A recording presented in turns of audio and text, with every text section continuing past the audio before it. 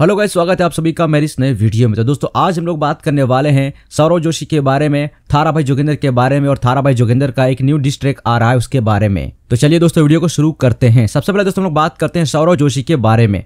तो गाइस सौरव जोशी ने एक बहुत बड़ा रिकॉर्ड बना लिया है। दरअसल दोस्तों, सौरव जोशी ने सौ दिनों में सौ वीडियोस तो अपलोड की ही है। साथ ही साथ में दोस्तों, उनकी सौ की सौ ब्लॉग्स वीडियोस ट्रेंडिंग सेक्शन में भी गई है। और ये दोस्तों, एक यूट्यूबर के लिए बहुत बड़ा रिकॉर्ड है कि उनकी सौ की सौ वीडियोस सौ दिन तक ट्रेंडिंग में आई हैं। तो गए सौरव जोशी के इस मतलब के रिकॉर्ड के लिए एक लाइक तो बनता है। अब दोस्तों लोग बात करते हैं सौरव जोशी और पीरू के बारे में। तो गए सौरव जोशी के न्यू ब्लॉग में सौरव जोशी पीरू से मिलते हैं और वहाँ पर वो कहते हैं कि उनको पीरू से कुछ डिस्कस करना है और कुछ बात करनी है और उन दोनों को लेकर कुछ बहुत बड़े दो सरप्राइज़ आ रहे हैं।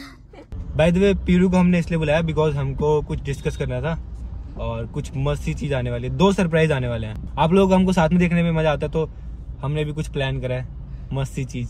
अब गैस ये सरप्राइज़ क्या हो सकता है? इसके बारे में किसी को कोई पता नहीं है। शायद ऐसा हो सकता है कि पीरू और सौरव जोशी, ये दोनों गर्लफ्रेंड बॉयफ्रेंड है। इस बात को मतलब रिवील करने वाले हो या फैमिली को लेकर कुछ और मतलब के सरप्राइज़ देने वाले हो या फिर कुछ भी हो सकता है। आप लोग को क्या लगता है कि सरप्राइज़ क्या हो सकता है? आप लोग इसके बारे में, आप लोग की राय हमें कॉमेंट्स में ज़रूर बताइएगा। अब दोस्तों, हम लोग बात करते हैं थारा भाई जोगिंदर के बारे में। तो गाइस थारा भाई जोगिंदर का डिश ट्रैक थ्री जल्दी आने वाला है। जी हाँ दोस्तों, थारा भाई जोगिंदर ने इंस्टाग्राम पर एक पोस्ट किया है और वहाँ पर उसने लिखा है, लोगों के सामने सच्चाई ला करके रहूँगा dish track three coming soon जी हाँ दोस्तों, अब थारा भाई जोगिंदर का डिश ट्रैक तीसरा भी आने वाला है जल्द ही। फ़िलहाल दोस्तों, आप लोग को थारा भाई जोगिंदर के दो डिश ट्रैक में से कौन सा वाला डिश ट्रैक आपको ज़्यादा पसंद आया, आप लोग इसके बारे में हमें कॉमेंट्स में ज़रूर बताइएगा।